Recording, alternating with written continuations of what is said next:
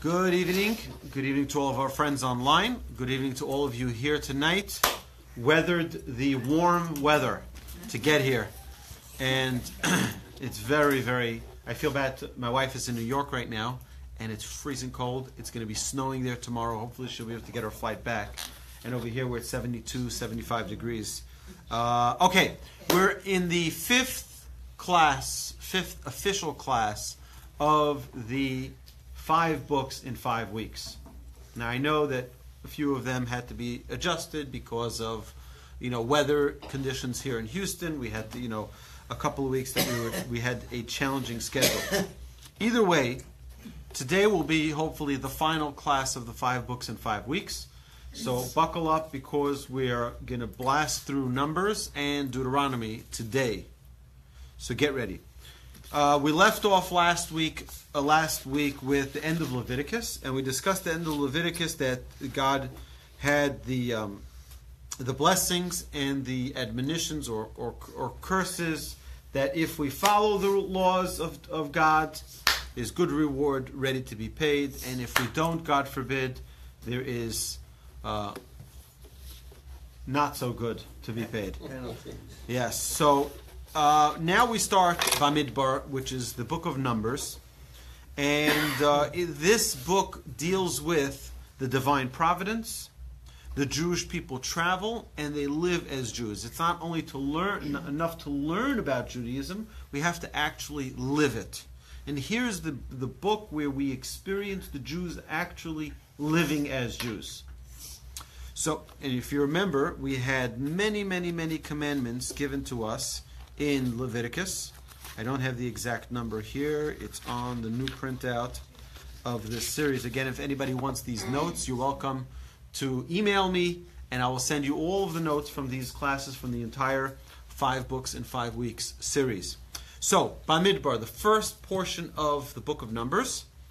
Uh, the, actually, the first three deal with the encampment around the tabernacle. As we know, there was a specific order that the Jewish people needed to be camped around the tabernacle, and every tribe had its own flag. Every tribe had its own identity. Every every tribe was going to get its own portion in the land of Israel. And it's important to note, we mentioned this in one of the other classes this week. Someone was asking about why are there so many different uh, you know elements in Judaism. You have the Sephardic, the Ashkenazic, you have the Hasidic, you have you know the, the, the Lithuanian Jews, the you know all of the even just within the Hungarian Jews or the Hasidic dynasties, you have uh, hundreds of different Hasidic dynasties. And they were thinking that it was sort of a contradiction. I said, no, it's been by design like this from day one, we, we see the Jewish people had 12 different tribes. Every tribe had different different perspective. Every tribe had different qualities and different different challenges that they were going to face. And we see that also in the blessings of Jacob that he was giving his children, the tribes, everyone had their own uniqueness. This one's going to be a businessman, this one's going to be a Torah scholar. This one is going to be a priestly tribe, and this one is going to be a, you know, a traveler. Right? We have all of these different tribes. That's fine. Everyone is different, everyone is unique, and everyone has to find their own way. But the fundamental principles remain the same. And that is the Shabbos remains the Shabbos for everyone. The, the you know saying the prayers that we pray every day is the same for everyone. The order may be different in the details of which psalm goes where and you know which parts come first, which parts come last.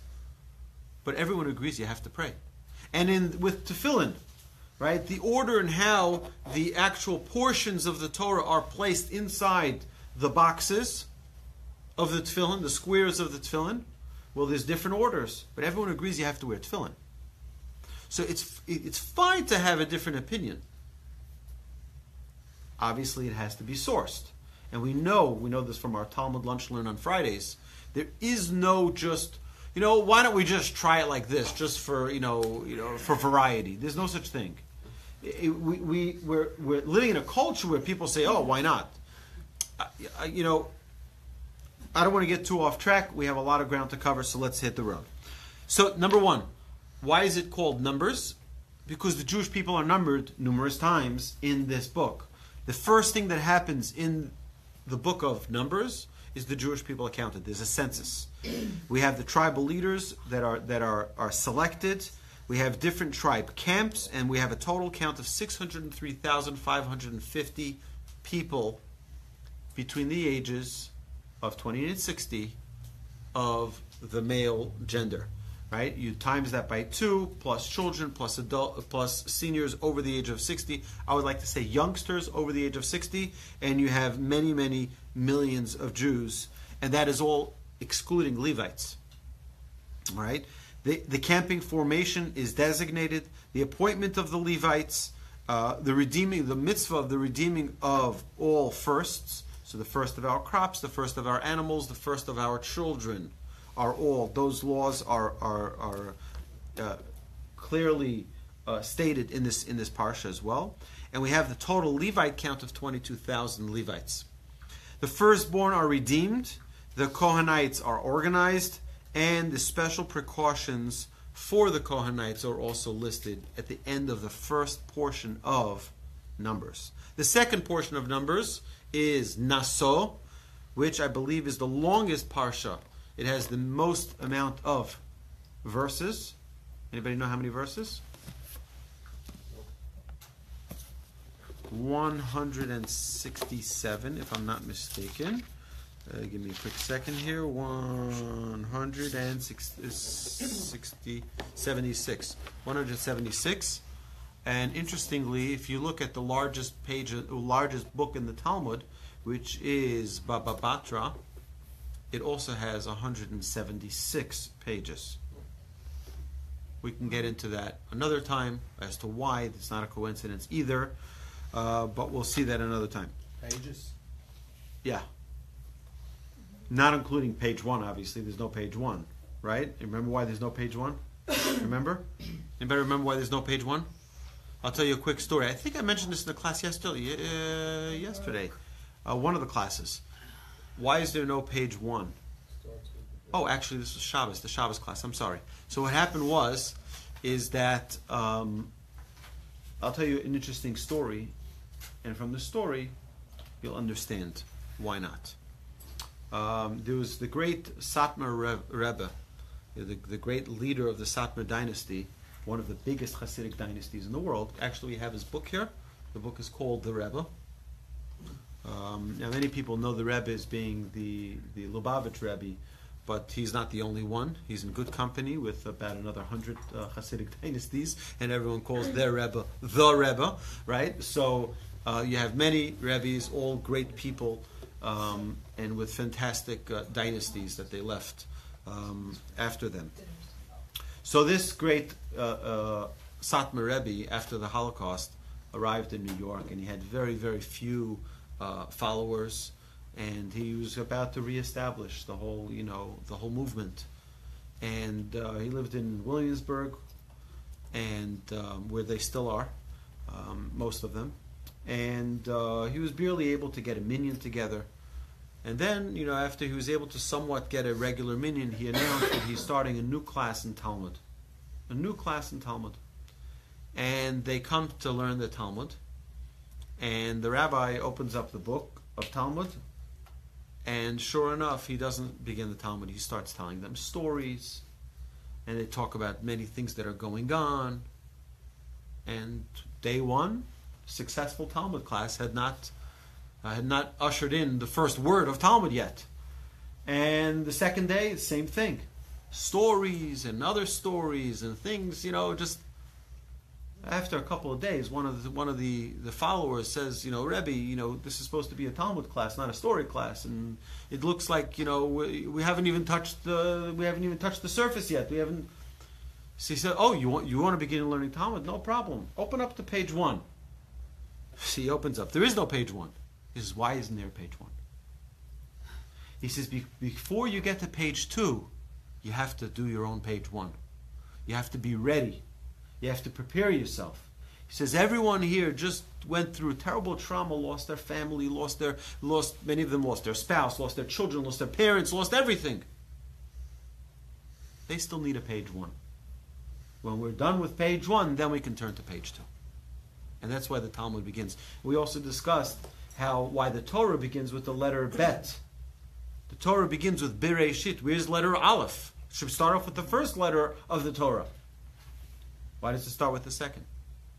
Well, there's there there are things that need to come before you start learning the Torah, and we mentioned this. Number one is we have to use our common sense. Common sense is A. It's the A of of the Aleph of the Torah. Second is we have to understand the fundamental principle of Aleph. What is Aleph? God, godliness, aloof, God is the master of the universe, and God is hidden.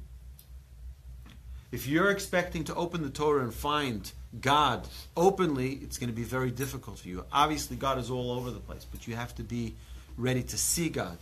God is going to be hidden through His works, through His majesty that's in this world. And it's not just going to be open there. You're going to have to search for God, and you're going to have to find God within yourself. So the Aleph is hidden. Starts with Bet. Okay, now. So the Kohenites are organized, and then we have the special precautions for the for the for the Kohenite, uh, special precaution for the Kohenites. Second portion is Naso. Naso means to travel, and we have the distribution of responsibilities. We have the recounting of the Jewish people. We have the purification of the camp, repenting for theft, and then we have a very, very, very important portion in the Torah, which is Sotah. Anybody remember what the Sotah is? That's a, a suspected adul- adulteress a woman who is suspected by her husband of having an affair. And what does the Torah tell us about that? That she would she was accused by her husband as having an affair, and what would happen is that they would bring her to court, and the court would have her uncover her hair and drink a certain uh, potion that had God's name melted into the water, and then she would drink it. If she was innocent, she would be blessed with amazing children. She'd be blessed with unbelievable blessings. And if she was guilty, as charged, because obviously we don't have witnesses, we don't have any. If there were witnesses, we wouldn't have to get to such a situation. But here we have no witnesses, just an, an allegation from her husband. So we don't know. And because uh, f- fidelity in marriage is so critical in Judaism, so we have no solution other than God doing a miracle. And if she was indeed guilty, the the drink would kill her from inside. She would die and it would be over. The next portion after this, and the Torah goes into details about this. The next portion, immediately, not portion, portion, but the next part right after this is talking about the Nazarite. The Nazarite is someone who uh, removes himself from worldly pleasures, removes himself from uh, from uh, you know drinking wine, from growing his hair, and so on and so, and so forth. So the obvious question would be, why is one next to the other? Why is one next to the other? Why do you have the sotah, the the uh, the alleged suspected adulteress, right next to the portion of the Nazarite? She's the one who most So, so, so our sages tell us that if sotabikul someone who sees a suspected adulteress in her. Find the actual verse for you.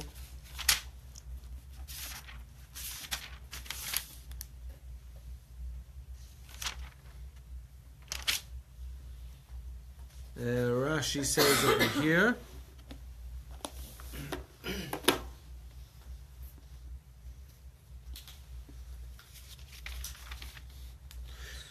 One who sees a woman in such a state should immediately remove himself from wine.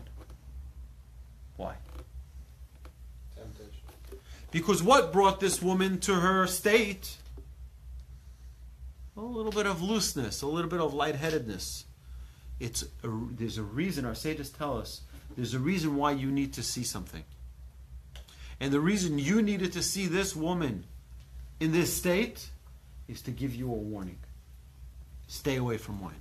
And that's why our sages tell us immediately after talking about the sotah, we immediately go to the portion of of, of the Nazir, the Nazarite, the Nazarite who refrains from certain worldly pleasures. The idea is is that we have to take note when we see things, we have to wake up ourselves. We see a story in the news about uh, you know some terrible terrible thing that that was done. Why did I have to see that piece of news? I could have turned on the news another three minutes later, and I wouldn't have to see that piece. But guess what? It's preordained, so to speak, from the Almighty that we need to see this to wake ourselves up to be a little bit more sensitive in a certain area. There's no there's no coincidence in Judaism. We don't believe in coincidence. It's divine. Okay? It's pre- so then we have sudden contamination discussed in that portion, priestly blessings. A very interesting part of priestly blessings is that priests themselves, it says, "V'tzamur shmi al bnei Yisrael v'ani avarachem." God tells tells the Kohen, Kohen, the Kohanim, God tells them, "You put my name on them, and I will bless them." It Means you're just a conduit through which my blessing will flow, but you yourself don't have any powers per se. Uh, I think that same concept goes with all of us to understand that when we uh, give a blessing to someone, or if someone gives a blessing to us, it is opening up a channel through which blessing can come to us. But that person doesn't have the power to put anything on us. Uh, it has to be uh, willed from the Almighty, from up in heaven. Priestly blessings. Offering of tribal leaders, and Moshe enters the tabernacle, and the altar is dedicated. We have then, third portion is Bahalotcha. And we talk about the menorah. We have the consecration of the Levites. We have Passover in the desert. We have the offerings, the trumpets, the order of breakdown of the camp. We have Jethro is invited to join the Jewish people. We have the journey begins. The ark travels. We know the ark was a special miracle. The ark carried the people. The people didn't carry the ark. Right? It's an amazing thing. You think, oh, I'm so strong. I'm going to carry this ark. Just by the way, the, you know there was a video that went around. It was going viral of uh, you know the the uh, the trophy. Uh, what's that trophy called? The, uh, the for the for the for the winning Vince Lombardi. Vince Lombardi trophy. you see people going over, they're, they're, they're touching it, they're kissing it. To distinguish, not to distinguish between holy and unholy, and here the unholy is the Vince Lombardi trophy. The holy, we do this every single time we take out the Torah. Every single time the Torah is removed from the ark, we go to that Torah, which is our life. Now, for a football player, their life, sadly, is the trophy. That's what they're living for. We're not living for a trophy. We're living for a connection with the Almighty. What's that connection through the Torah? When we take out the Torah, we jump out of our seats. You know, you're not allowed to sit when the ark is open. Ark is open, you have to stand. When the Torah is out, you have to stand. In fact, I was learning this with my children just uh, last week that when the Torah is outside of the ark, you're not allowed to leave the temple till it goes back into the ark. Because that is our life's blood. That is the essence of who we are is the Torah, not the trophy. It's not just a trophy, it's not something we'll put on the mantle. It's something that is supposed to be in our soul, in, in our in our flesh, right? Not only in our minds, but in our actions as well. The ark travels, and the ark carried those noset nosav, those who were carrying the ark were actually carried by the ark. Like the ark would just hover. Um, the we had the complainers, people who were dissatisfied, dissatisfied with the manna. We had Moshe is in despair. He's like, "What's wrong with these people?" We have the establishment of the Sanhedrin. We have the new prophets uh, that were that were established, and then we see in verse three of chapter twelve that Moses is humble more than any other man, and we always are stumped with this question: How is it possible that Moses, the author of the Torah, obviously he's writing what God tells him to write, right? Why is he writing in the Torah that he is the most humble of all men? That's a little bit lack of humility, it would seem, for someone to be self-declaringly most humble. Right? So what's the answer? Yeah, he told him. Well, told him. well, well, well, well, well, well. Let's remember what humility is. Humility doesn't mean I'm a nothing. Humility doesn't mean that you ignore your qualities. On the contrary, humility means knowing the qualities that were gifted to you and remembering that they were a gift.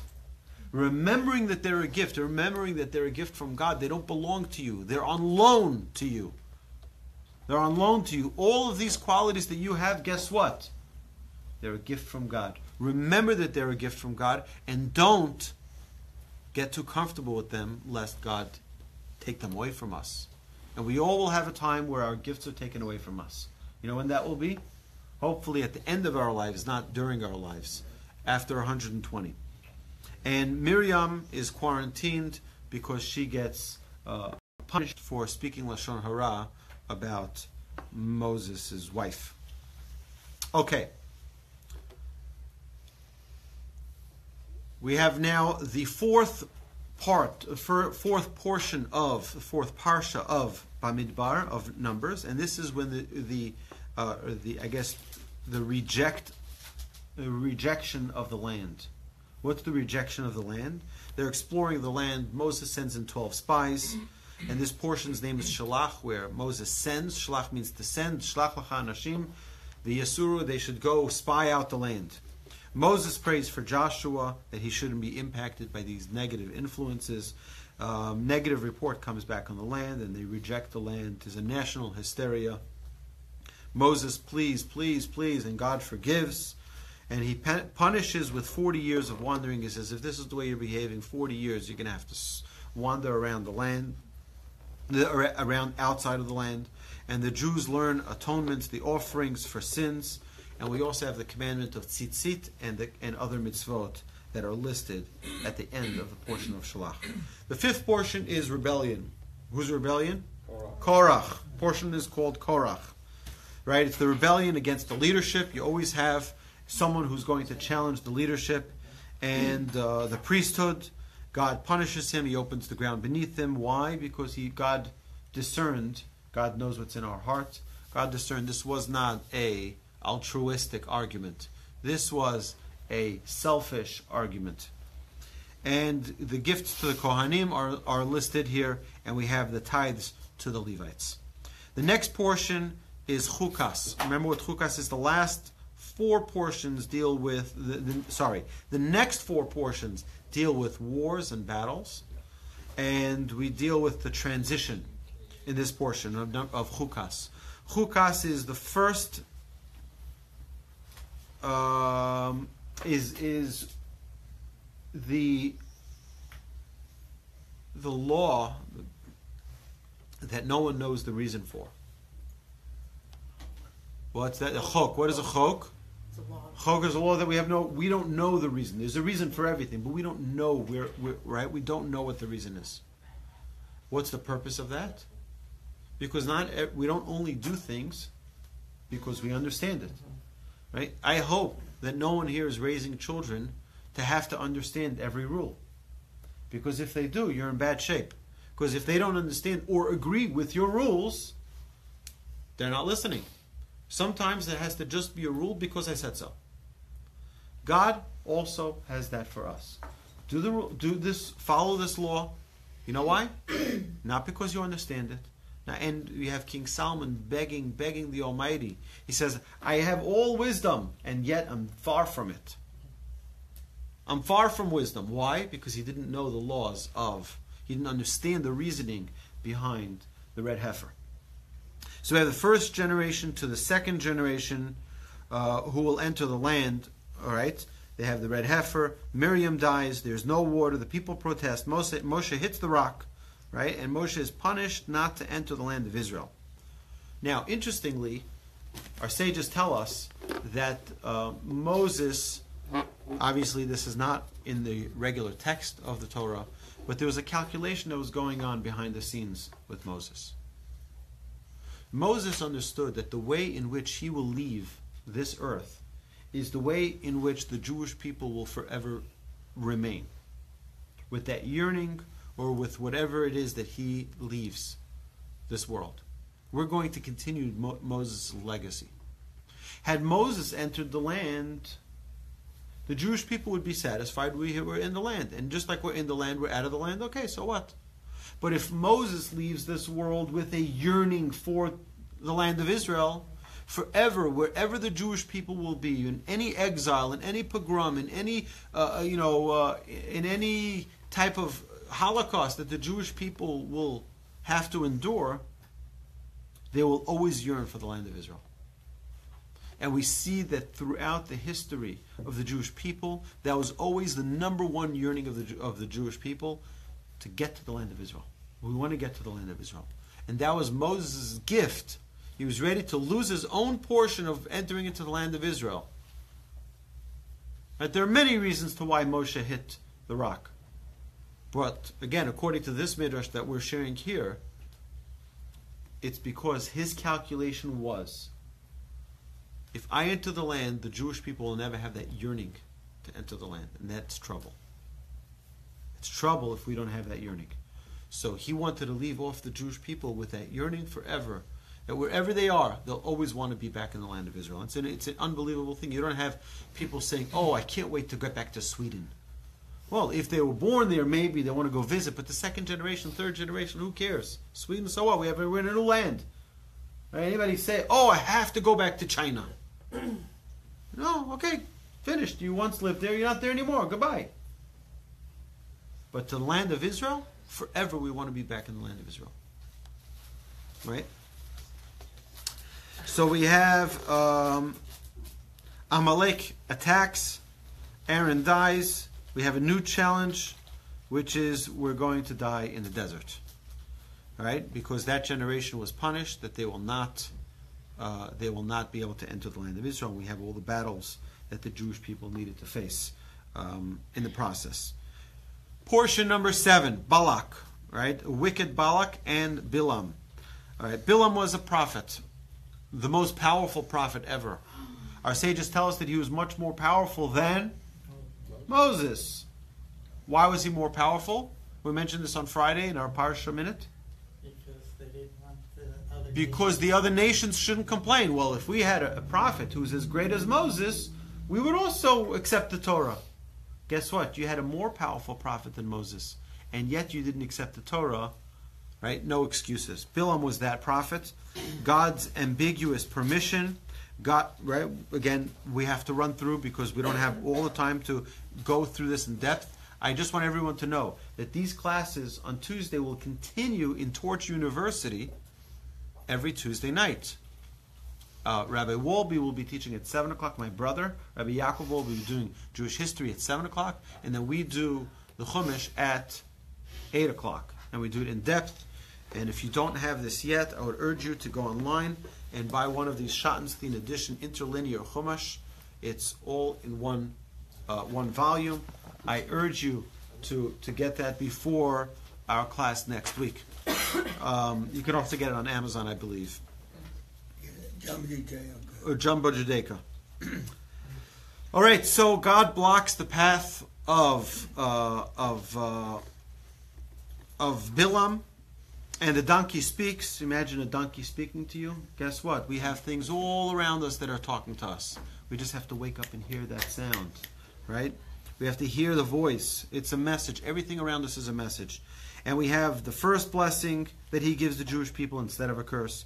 And Balak is angered. What's going on? We have a second blessing that's blessed to the Jewish people uh, instead of a curse. Because if God decides that you will not do harm to the Jewish people, you won't. With whatever might you have, with whatever strength, it will be unsuccessful.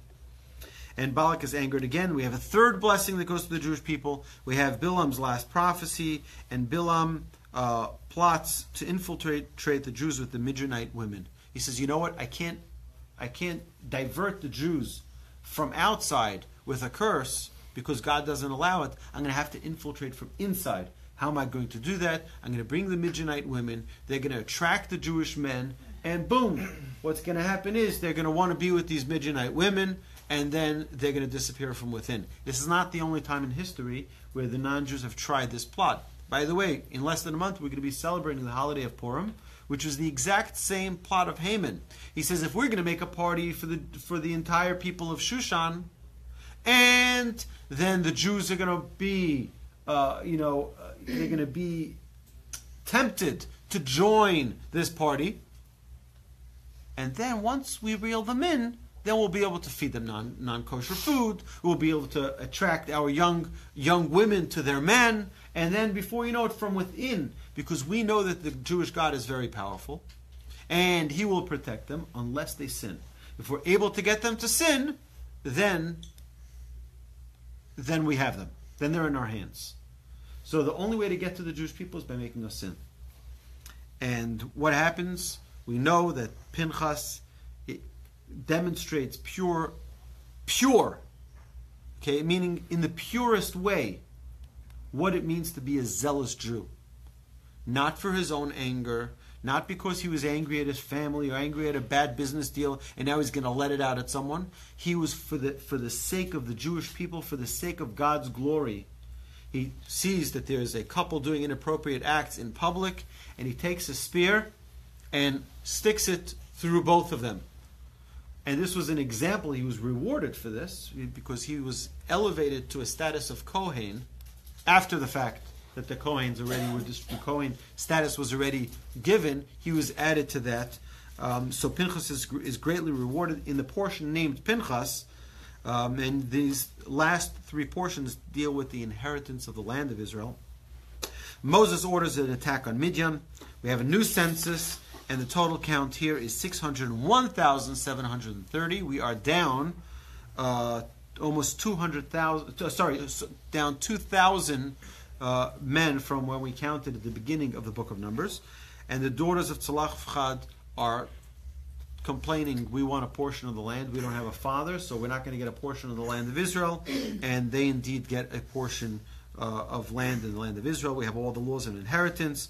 God shows Moses the land, and Moses asks for a successor, and we have the festive offerings listed in this por- portion of Pinchas. Then we have the portion of Matos, the ninth of the ten portions in Numbers, and we have the laws of vows and oaths. We have the battle against Midian again.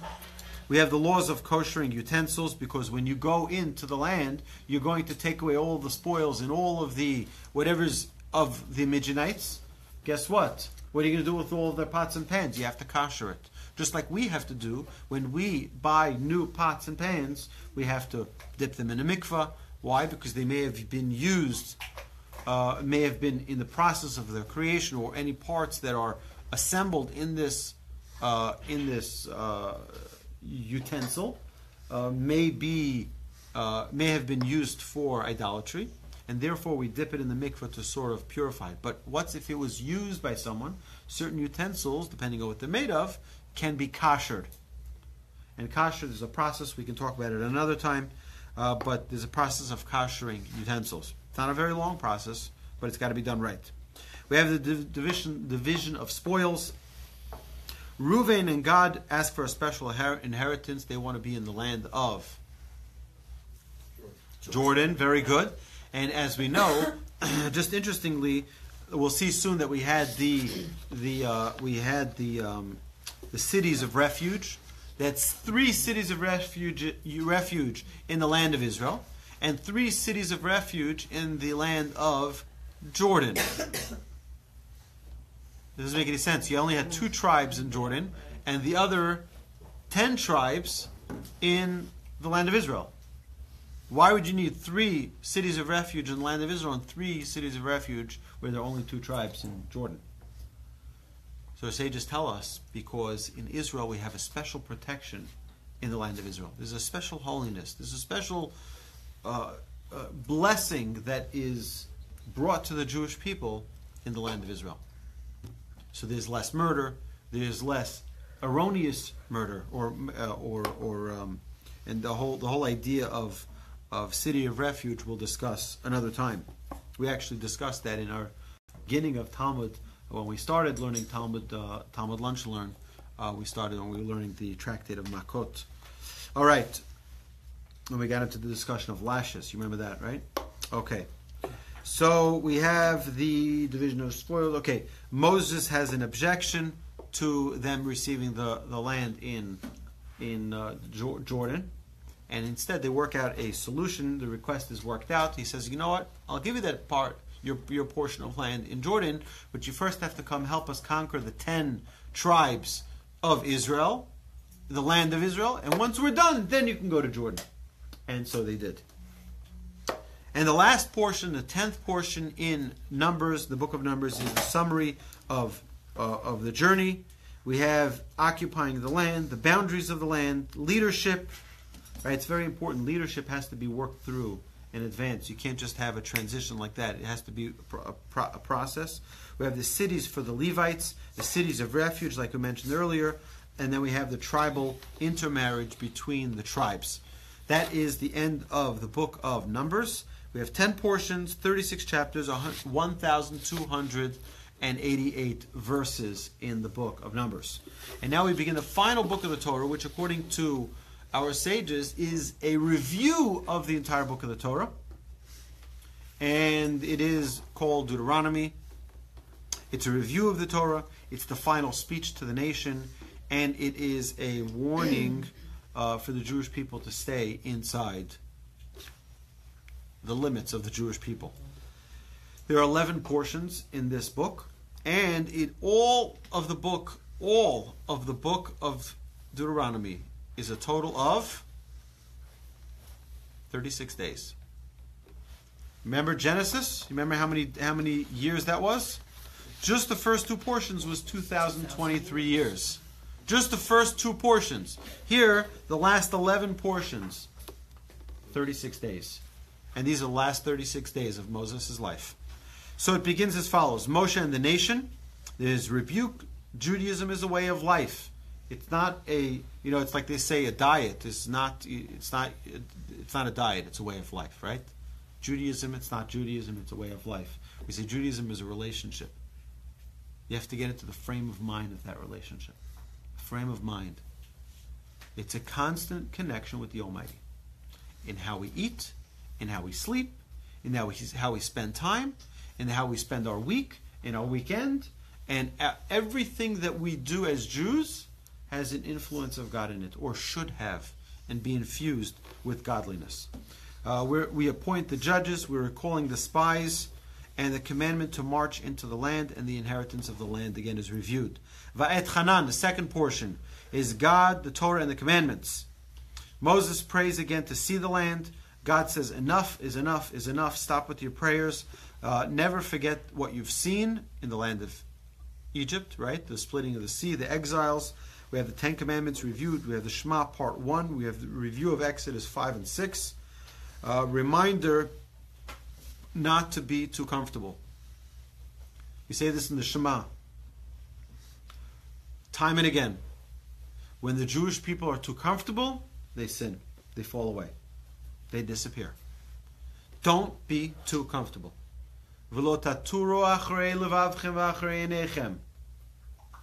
Don't go after your eyes and after your heart. Don't run after your temptations. We say also, we say in, in the in the V'hayim Shema, be careful.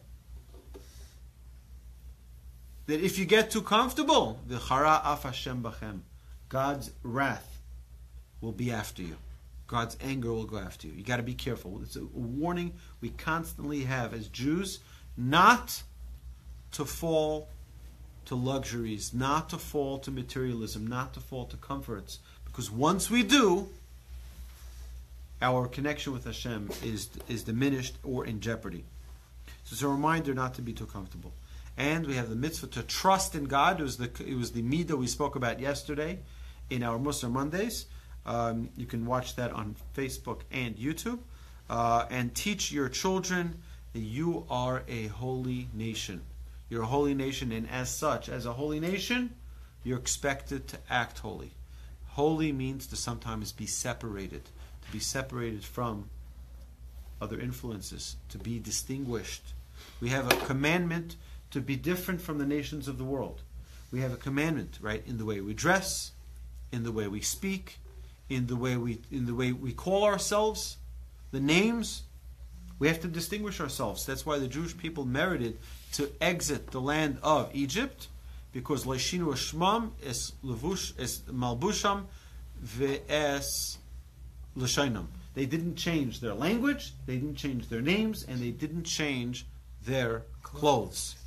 They dressed like Jews, they, they called they had their names like Jews, and they and they um,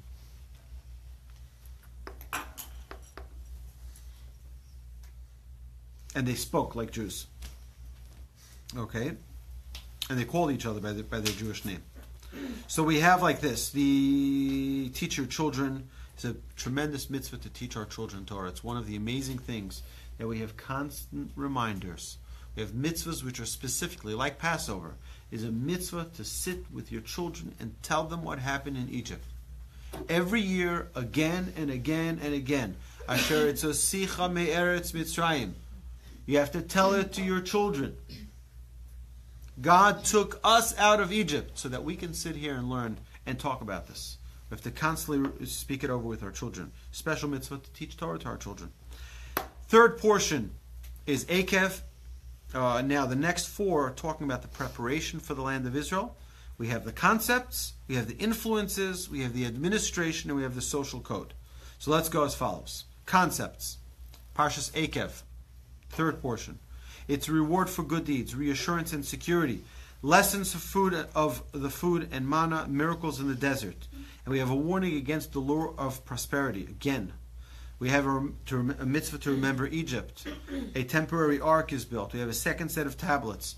Aaron's death. Again, this is a review. If you remember, this is from Exodus already. Uh, the, towards the end of Exodus, we have uh, greatness and promotion of the Levites. All God wants from us. What does God want from us? Relationship. Relationship. What is that again? Effort. Effort. God wants us put an effort forward in this relationship. Right? God wants our heart. God wants our heart.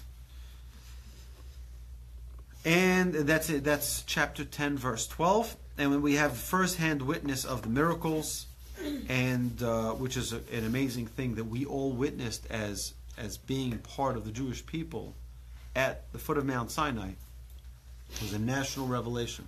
It wasn't what other religions have as an individual revelation. This is a a national revelation, which is again different than any any other religion can can test, uh, testify to. We have the greatness of the land, and then we have Shema part two.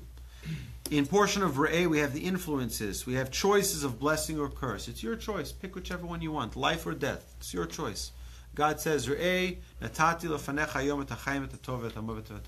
Here, behold, I've placed before you today life and death, good and bad. What do you choose?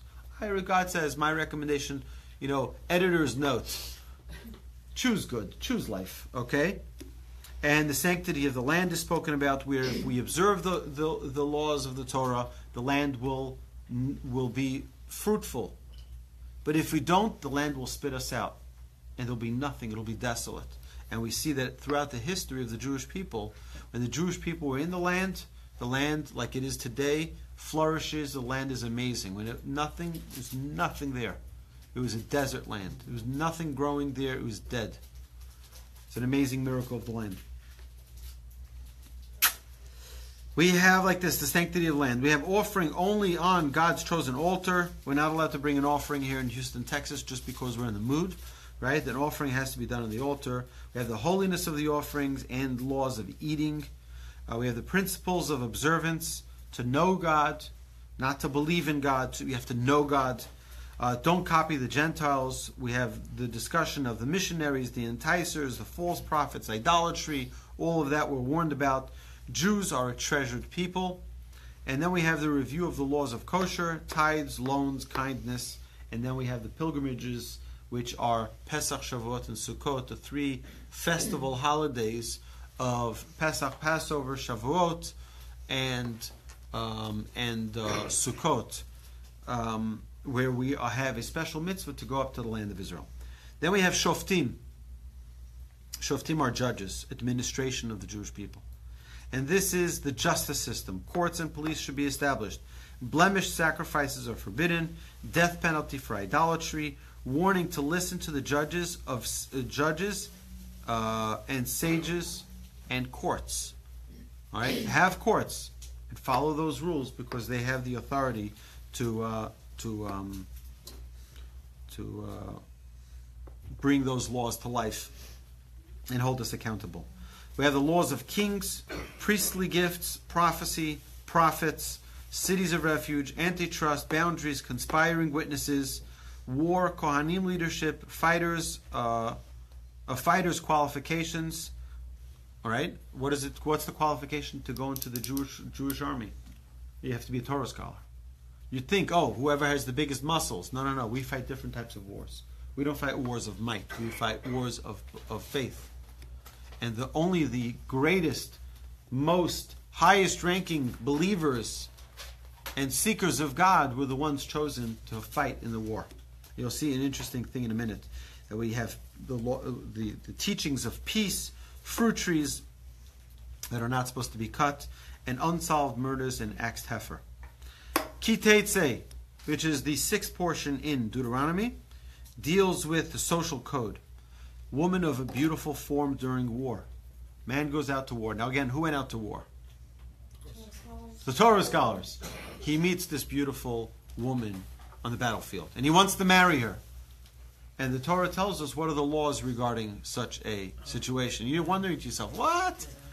I mean, these are the sages. What's wrong with them? Well, God understands the nature of man, how man could be overcome in a challenge. Therefore, God created the out before you're in. Guess what? If you're faced with such a challenge, just know we, we give you the ability to marry her, and then he'll say, okay, you know what? I don't need it that bad. It's sort of when you have the bread in the basket, you're not hungry. Right? That's the concept of the Talmud.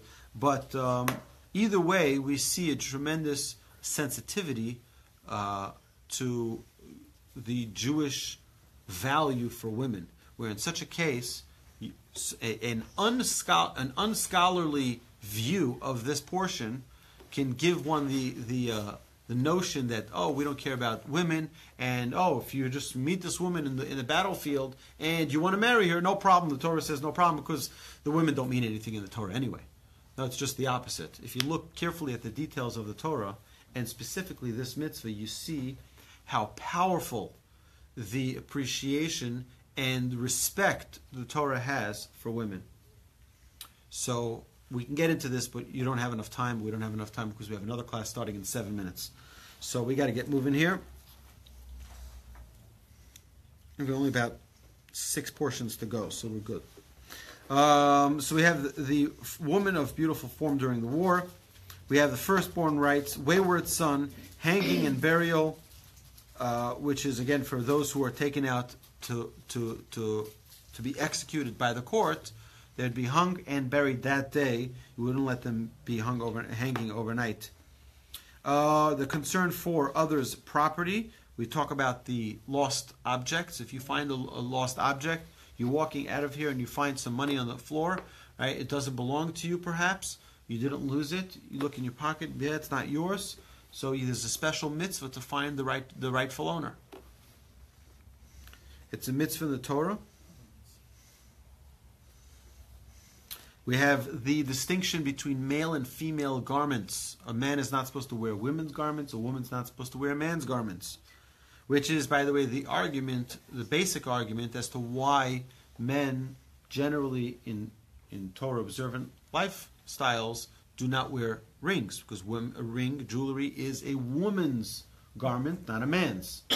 Right? That doesn't mean that it's a sin for a man to wear it. Again, there's there's customs in you have to know different countries have different customs and so on and so forth. But the general principle I think is pretty clear that men need to be men and women need to be women, and it's perfectly fine. There's no need to be ashamed of being a woman or a man, and uh, let's leave it at that. Laws of shiluach haken, which is sending away the mother bird before taking the child. Uh, again, a, a mitzvah of tremendous mercy. Uh, building a fence on a roof so you, you have responsibility and accountability for your property that people shouldn't fall down. So if you have a roof that people can walk on, uh, a regular rooftop of one of those buildings in New York City, you have to have a fence around it. It's a mitzvah in the Torah to build a fence because if you don't have a fence, what's going to happen? Someone may fall off, and we don't put ourselves in a place of risk, of danger. Uh, we have the laws of tzitzit, of motzi shem ra. Motzi shem ra is if you put out a, a false statement about someone else. If you put out a true statement that's negative about someone else, that's lashon hara. another prohibition of the Torah repeated multiple times. But if it's true,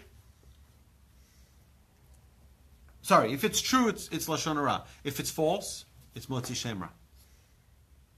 Motzi shem ra is a terrible thing. Also, a prohibition of Torah. We have the restriction of adultery, restricted marriages, forbidden to marry non-Jews. We have the forbid the, the prohibition for marrying the Moabite or Ammonite males to marry into the Jewish people. We have the sanctity of the people, slaves and sexuality, uh, interest. We don't. If we, someone asks us for a loan, we're not allowed to charge interest. Obviously, there are uh, permissions uh, for business purposes.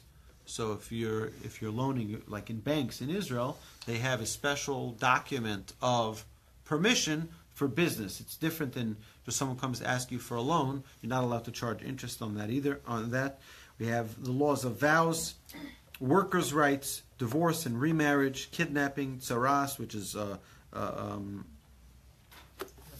leprosy. Thank you. Slander, debtor, timely payment of workers. If you know, by the way, you lend someone money, and you know that they can't pay you back for whatever reason, you're not allowed to ask them for the money because it's going to cause them extra pain. If someone borrows money from you and they give you back the money and they say, you know what, here's an extra 10 bucks, you're not allowed to take that extra 10 bucks. It's like interest. You're not allowed to accept it. If they give you a bouquet of flowers with it, you're not allowed to accept it. Because it's, it's a form of interest. They're paying on top of the loan. There's a question in halacha whether or not they're allowed to say thank you. Because the thank you could be an extra interest that they're paying. Right? Okay, it- at least it's a question. I can guarantee you at the end of the day, you have to be a mensch. That's what we, we learn, right? The first thing you have to do in the Torah is be a mensch. So no question, from the aspect of, of being a mensch, you have to say thank you. But you have to be careful to what extent that thank you is uh, is is pronounced with a gift or with something, a notice, uh, to, to notice that, to recognize that gift. You have to be careful about that. But the Torah is very, very, uh, the, the morals and ethics of the Torah are really incredible. We have uh, timely payment of work to workers, orphans and widows.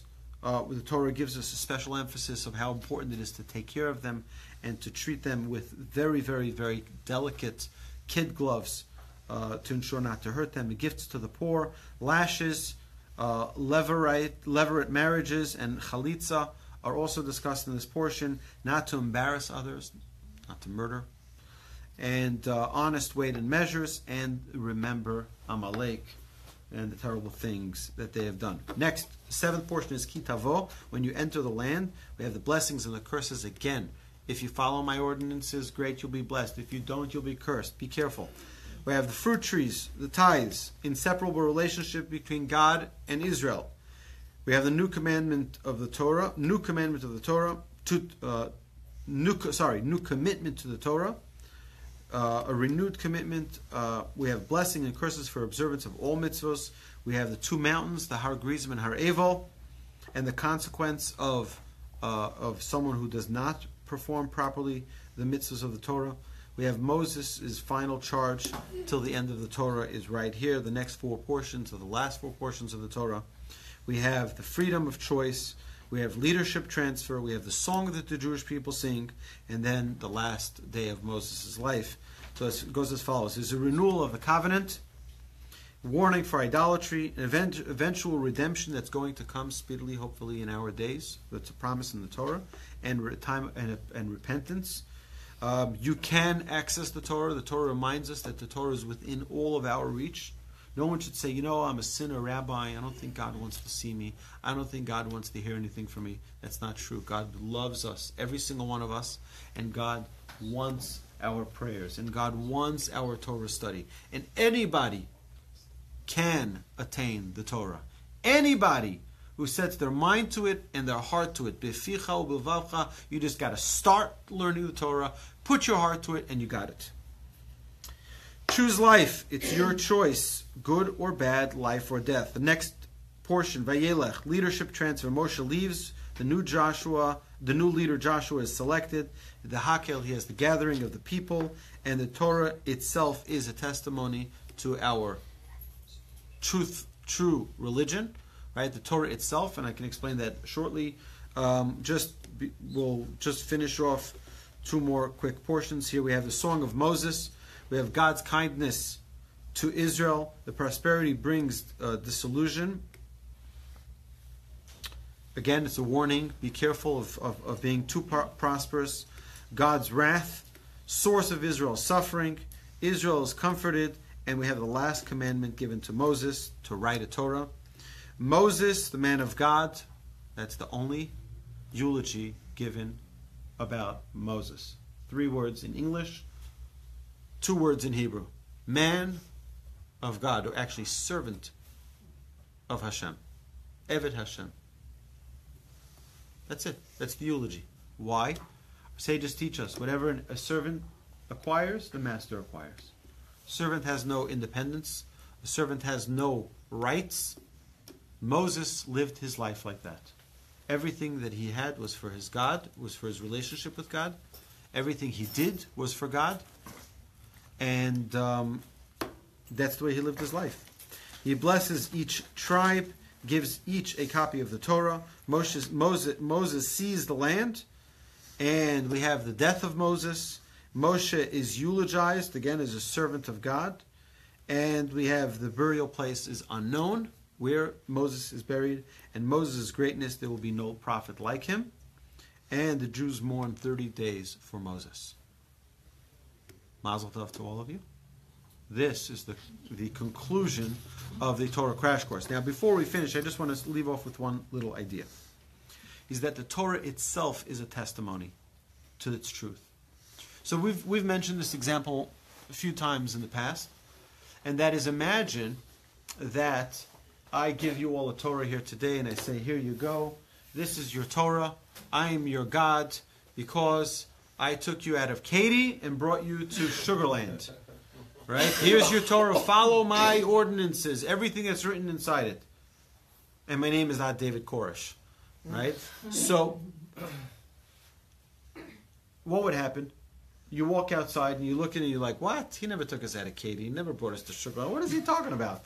This guy's nuts.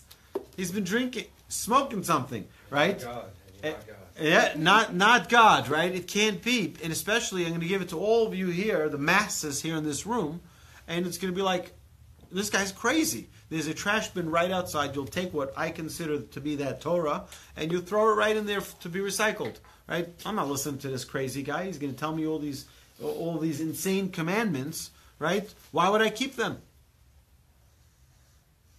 But if what I wrote in there was actu- was accurate, and the promises that I that I make in the name of Hashem are fulfilled, like the ten plagues, and the splitting of the sea, and the manna in the desert, and the Ten Commandments, and all of the amazing miracles that the Jewish people have seen, and it's all written in the Torah, and everybody has a copy of it, and it's accurate to a T, to every single experience that every Jew saw and recognized and experienced.